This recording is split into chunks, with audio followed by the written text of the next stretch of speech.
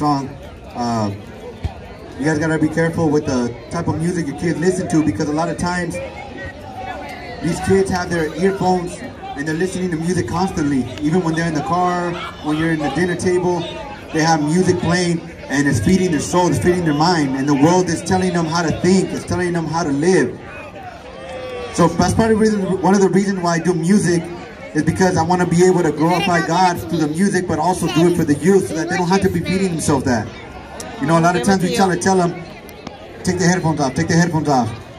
But they constantly listen to that. They go to bed with their headphones on. They do their homework with their headphones on.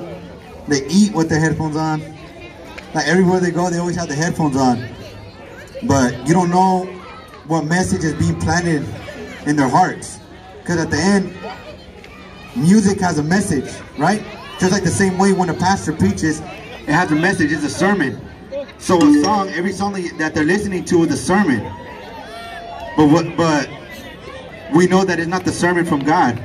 It's, I don't know if you guys really believe it, but the demonic, is it, there's demons in music, and there's, they actually, before sometimes, I have heard uh, a pastor on a, on a video that are saying that they cast spells over this music, and when you listen to it, you might not, not even like the songs, but you start reciting these lyrics.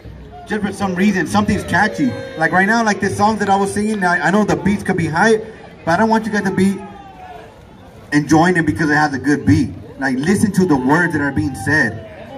Because, you know, life and death are in the power of the tongue. So when we speak, we're either going to lead someone in the wrong direction or we're going to resurrect them.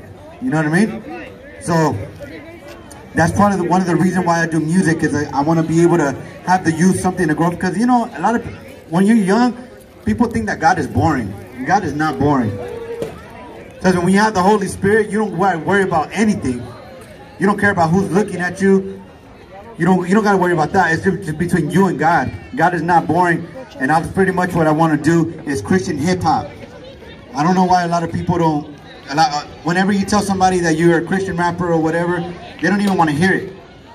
As soon as you mention the word Christian, they don't want to hear it. But there's breakthrough in it. It's not, it's more than just music. It's truth. And that's pretty much what I want to do. So this list